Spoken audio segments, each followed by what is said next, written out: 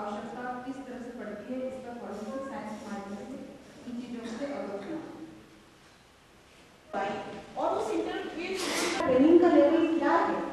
उनकी संवेदनशीलता का लेवल रिपोर्टेड केसेस अगर जनता नहीं पहुँच रही तो क्यों नहीं पहुँच? रही इन सारी चीज़ों पे 24 राज्यों की रिसर्च के अनुसार सबसे पहली रिक्वायरमेंट आई फॉर्चुनेटली मध्य प्रदेश।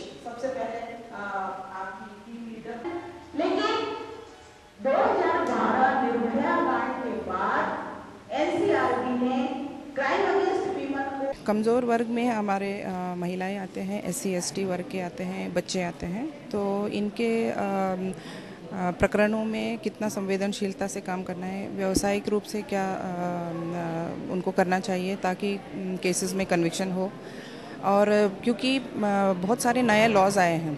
और नए एक्ट्स बने हुए हैं तो इन सबको भी इन सब की जानकारी भी हम लोग देंगे और कुछ केस स्टडीज़ करेंगे। ह्यूमन ट्रैफिकिंग जो बच्चे और महिलाओं के होती है स्पेशली एस सी के जो महिला बच्चे होते हैं, उनके साथ ये मानव दुर्व्यापार के प्रकरण भी होते हैं, उनके बारे में भी हम लोग चर्चा करेंगे।